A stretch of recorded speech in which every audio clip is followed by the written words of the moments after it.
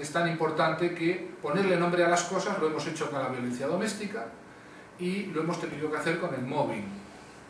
El mobbing en el ámbito laboral y el mobbing en el ámbito escolar que se conoce más comúnmente como bullying o acoso escolar, pero que no es más que la misma manifestación de violencia psicológica como necesidad para obtener un cierto Voy a intentar retrataros lo que yo me encontré a principio de los años 2000, 2001, cuando evaluamos el acoso en España, el acoso laboral. Nos encontramos con que era una realidad, pero una, una realidad como tantas otras formas de violencia, soterrada,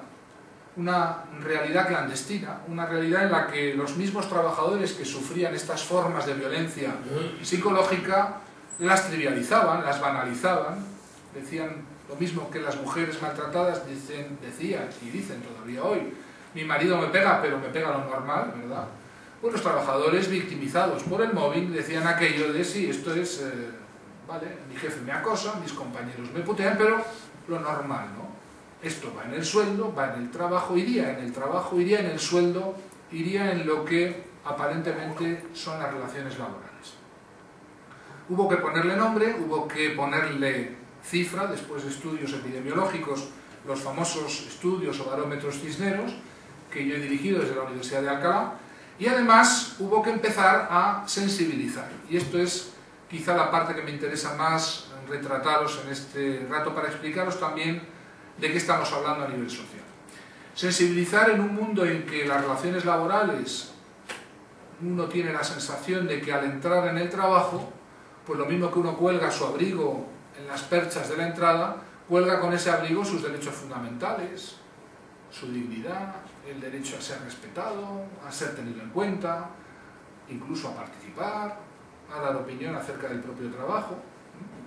Todavía en pleno siglo XXI, en numerosos lugares o ámbitos de trabajo,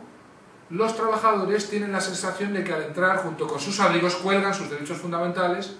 cuelgan su dignidad porque hay, se supone que ni entra el Estado de Derecho, supuesto, y tampoco entran los valores humanizadores que presiden todo el resto de la sociedad, excepto en el trabajo. Aunque os pueda parecer increíble, en el siglo XXI, en este momento, en España, en Europa, son millones los trabajadores que sufren de las violencias psicológicas múltiples, variadas y creativísimas, creedme, porque los que acosan son, son hipercreativos a la hora de inventar nuevas formas para hacerle la vida imposible a aquel que se ha convertido en el objetivo.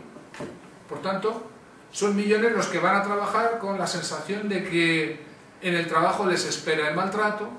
la violencia psicológica, y que por otro lado al mismo tiempo no pueden dejar de ir a trabajar,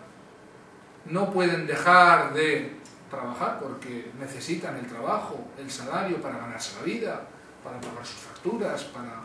alimentar a su familia, y todo eso genera una terrible indefensión que a medio y largo plazo produce un daño emocional. Para los psicólogos, el daño más habitual, los cuadros de estrés postraumático, lo que llamamos los trastornos por estrés postraumático, que es lo que yo llamo la herida invisible del móvil, porque son heridas, ciertamente,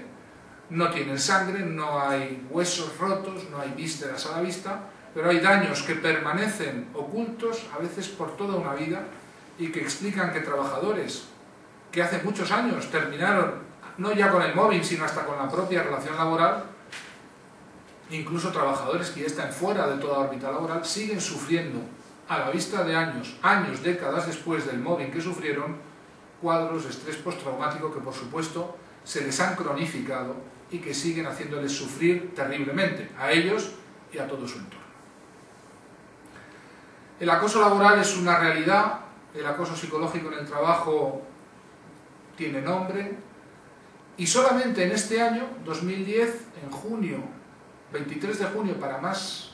fecha concreta, con la aprobación del nuevo Código Penal, ahí aparece por primera vez, 10 años después, 9 años después concretamente, después que yo mismo comparecí en junio de 2001 en el Senado para explicar lo que era este fenómeno, y entonces se aprobó en el Senado una moción instando al gobierno de entonces a legislar en la materia, pues nueve años ha tardado el legislador en ponerle no solo nombre, sino en este caso repercusión jurídica. El artículo 173 y 174 del Código Penal, que acaba de entrar El 23 de junio fue aprobado, está en el BOE y entrará en vigor el 23 de diciembre. Por fin, por primera vez, penaliza en el ámbito de lo penal, lo criminal, el mobbing, el acoso psicológico en el trabajo. No creáis que por ello va a ir mucho acosador a la cárcel, porque eso es más bien complicado, los que eh, sois juristas lo sabéis, pero sí va a ejercer un efecto de desincentivación de las conductas lesivas que yo creo que es más interesante que el hecho de que la gente vaya a la cárcel por aquello de la función motivadora o desmotivadora de la pena, que estudiamos todos, por lo menos algunos.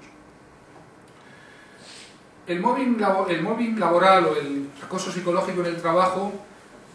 es una realidad a la que le pusimos nombre en los años 80 en Europa, en España un poco más tarde, a partir del año 2000, 2001, con importantes libros, uno de ellos el mío, otro el de Marifran Sirigoyen, El acoso moral en el trabajo,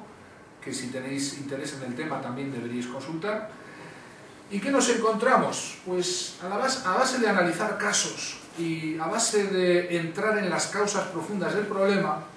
algunos investigadores nos dimos cuenta que esto del mobbing laboral tenía otras manifestaciones en diferentes ámbitos y que muy frecuentemente las propias víctimas del acoso laboral nos decían que esto ya lo habían vivido antes, no en una vida anterior, no en una reencarnación anterior, sino que muchos de ellos habían vivido exactamente esa misma situación, nada más y nada menos que en el ámbito escolar. Cuando eran chavales, habían sufrido exactamente los mismos tipos de procesos que luego, años después, habían visto replicarse en la organización en la que trabajaban.